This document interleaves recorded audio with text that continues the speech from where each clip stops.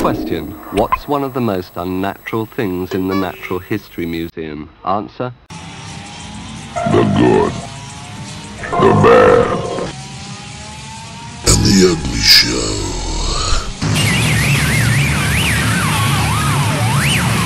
Hello and welcome back to The Good, the Bad and the Ugly Show.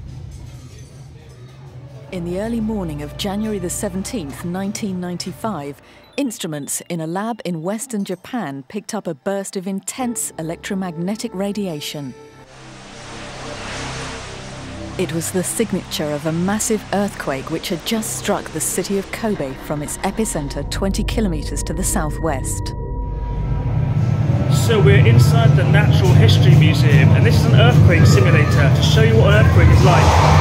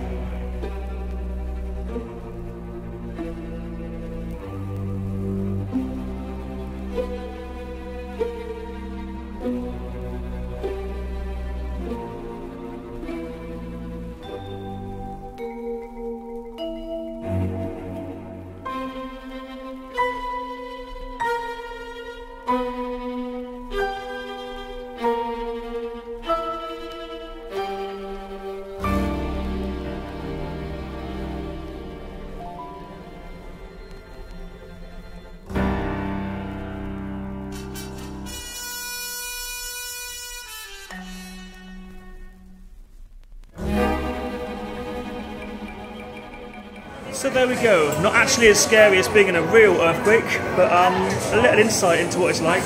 Pretty cool thing. Please like, share, and subscribe to the good, the bad, and the ugly show. Because there's no room left in hell.